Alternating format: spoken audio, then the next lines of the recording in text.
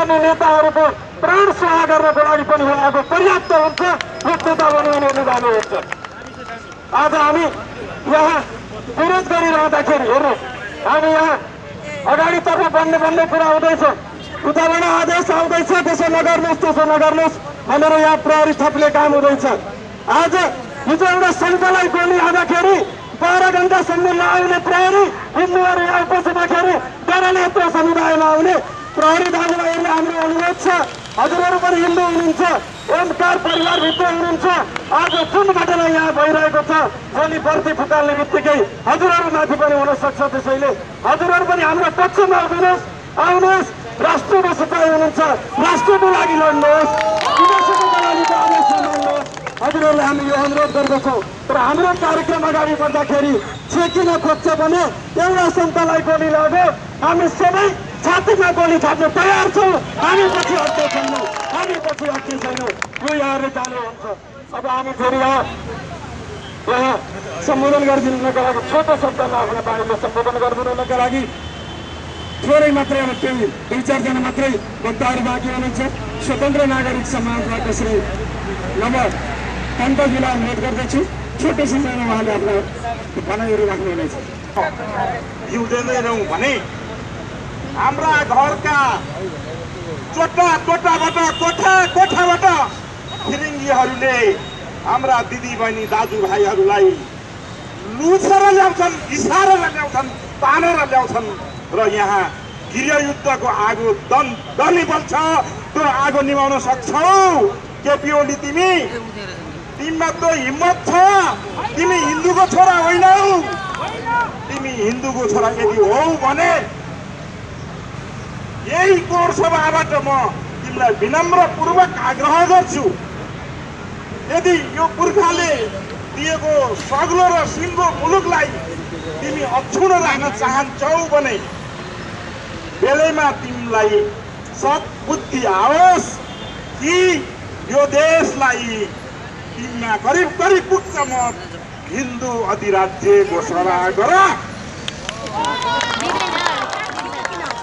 राजा सहितको यो देशमा मात्र प्रजातन्त्र रहन सक्छ यदि यो देशबाट राजालाई किनारा लाउन खोजियो भने फेरि यो देश सिरिया हुन्छ इथियोपिया हुन्छ सोभियत रुस हुन्छ जुन जुन देशमा संहिता छ ती ती देशहरू आज टुक्रिएका छन् इथियोपिया टुक्रेर दक्षिण इथियोपिया भयो फेरि दक्षिण इथियोपिया पनि टुक्रिँदैछ स्पेनमा राजा छ त्यो गणतन्त्र मुलुक हो त्यहाँ इस्टोनिया भन्ने पनि राज्य छ। त्यहाँ नब्बे पर्सेन्ट मान्छेहरू त्यो देश टुक्राउन खोजे सकेनन्। त्यसैले तिमी नेपाली आज सिंहदरबारमा राज गरेका छौ। तिमी सत्तामा छौ। राजनीतिक निर्णय गर। यो देशमा हिन्दू धर्म र यो देशको राजतन्त्र टाक्ने बाह्र बुधेमा कहीँ कतै सहमति छैन। कहीँ कतै समितिको छैन। यो भुल भुलैयामा भुल भुलैयामा परेर यो देशलाई यदि तिमीले हिजो युद्धको दल दलमा खोजेका छौ भने पहिला मृत्यु तिम्रो हुन्छ। चेतना भया त्यसैले म सुझाव दिन चाहन्छु। स्वतन्त्र नागरिक समाजको तर्फबाट हाम्रो Patan people board dot com छ। त्यहाँ डाक्टर छन् त्यहाँ इन्जिनियर छन् त्यहाँ पत्रकार छन् त्यहाँ नेपाली प्रतिष्ठित व्यक्ति र व्यक्तित्वहरू छन्। हामी भन्छौँ हामी तपाईँलाई निवेदन गर्छौँ अब पनि तपाईँहरूमा चेतना भएन भने हामी स्वतन्त्र नागरिक समाज यो श्रीनिवास आचार्यज्यूलाई लागेको गोलीको बदला लिने प्रण गर्छौँ अब पनि तपाईँहरूले यो निर्णय गर्न ढिलो भयो भने तपाईँहरूको यो परराष्ट्र नीति गृह नीति सबै फेल भएर जान्छ।